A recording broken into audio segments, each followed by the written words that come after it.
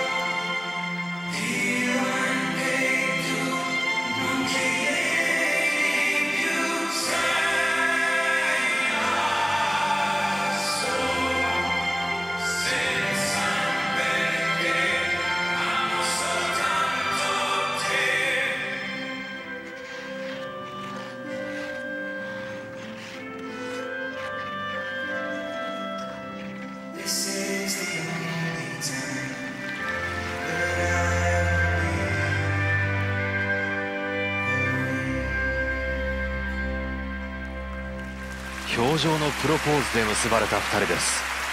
実は2人目のお子様が去年の6月に生まれたばかりでまだコンディションが戻っていないと話していましたが全く八木沼さんそれを感じさせませんでした。本当ですね。中国ペアレジェンドの1組。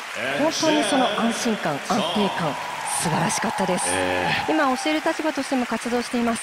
彼らのスケーティングと DNA を受け継いだスケーターがこれから出てくるの本当に楽しみですね。そうですね